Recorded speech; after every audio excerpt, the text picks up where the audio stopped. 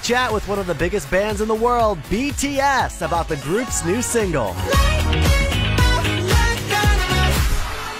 Hi, I'm Ralphie Aversa, and here's what we're covering at Entertain This.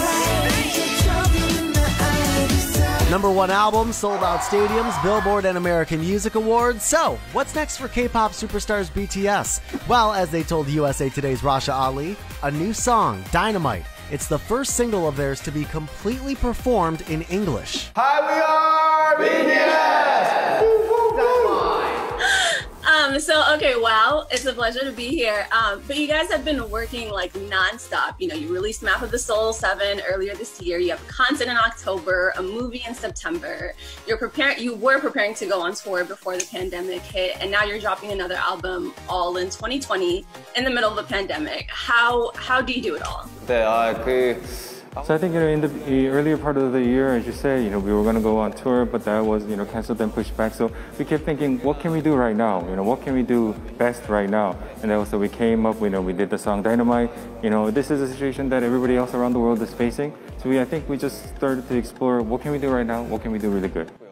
I know in an interview last year, you guys mentioned that you know you don't want to change your identity or genuineness to get to like a number one song. And if you suddenly started singing in full English, then that wouldn't be who BTS is. So what has changed with Dynamite? And do you feel like by singing a song in full English, that has changed who BTS is? we've never expected this song would come, you know, like even in fully in English, like you said. But things, many things have changed, and you know, during the process of making our album, which we're gonna release later this year, we just met this song like a like a destiny. And you know, when we first listened to the demo, the lyrics and the vibes and you know everything was so perfect. So, well, we thought like, you know, why not keep it this way? Some say um, things have changed, but this is a new challenge for us as well. So, you know, we're giving it a shot anyway, like a dynamite. What do you hope this um, song will accomplish for you? So the goal of Dynamite is really simple. Um, we just we just got ready with this dynamite to you know to explode the world with the positive vibes and energy. Uh, we've been through all the you know sadness and desperation, but you know with this song and performance, we just hope the world gets more positive and be happy. That's it. That's our goal. And how do you guys personally get over like your sadness? Like, do you, you know, through song? Like, I know 2020 has been really heavy for a lot of us, and I'm sure it can't be easy for you guys when you're always working. So, how do you kind of get through that yourself?